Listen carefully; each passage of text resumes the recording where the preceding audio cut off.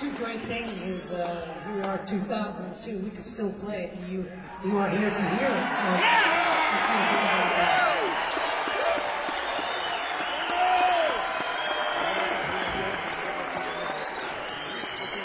feel good always, I want to leave you in the capable hands of his wonderful guitar styles of Mr. Steve Howe.